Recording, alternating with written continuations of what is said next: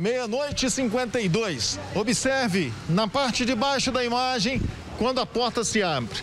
Um homem entra. É um criminoso.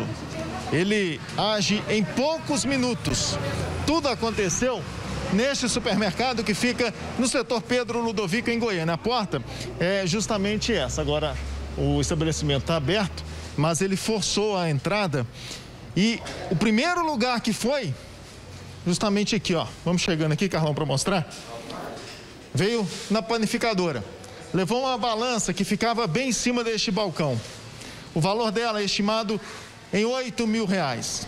Logo depois, o bandido foi para o açougue, que fica do outro lado aqui. Levou também uma outra balança, mais 8 mil reais de prejuízo, né, Ailson? 8 mil reais de prejuízo para a gente, sem falar no custo ainda das portas, né? Que nós tínhamos que arcar com todo prejuízo. Nós ficamos esse dia, nós estamos aqui passando pela pandemia, correndo atrás para deixar os boletos tudo em dia, tudo certinho, e chega um prejuízo desse. Quer dizer, duas balanças, cada uma avaliada em torno de 8 mil reais, só aí 16 mil reais de prejuízo. Só que antes de ir embora, o bandido veio aqui no caixa, abriu a gaveta e levou todo o dinheiro que estava aqui.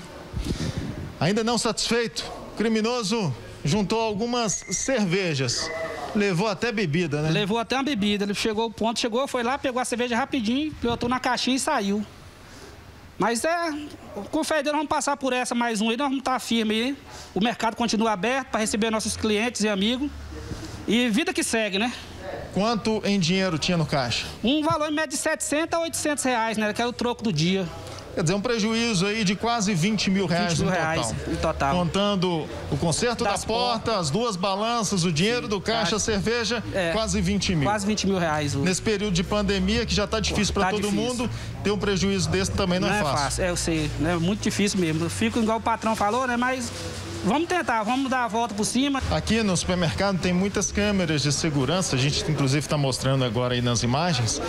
E essas câmeras flagraram toda a ação dos criminosos. Um Sim. só que entra, mas tinha um outro do lado de fora dando apoio. De fora dando apoio. Um, rapa... um entrou, o outro ficou lá fora.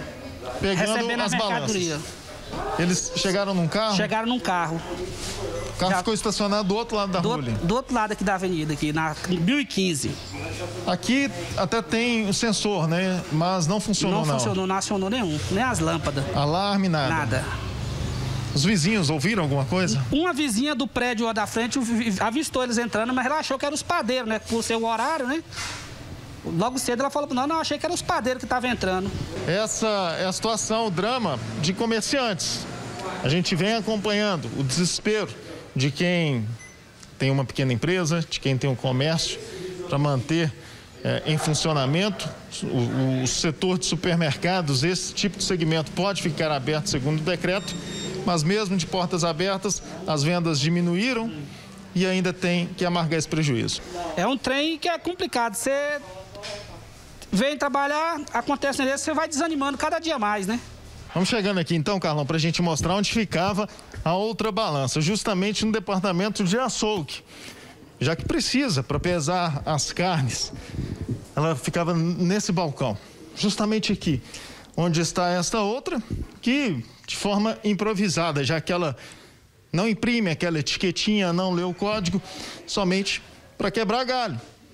Enquanto os empresários aqui, enquanto os proprietários não conseguem repor uma balança igual a que ficava justamente neste local.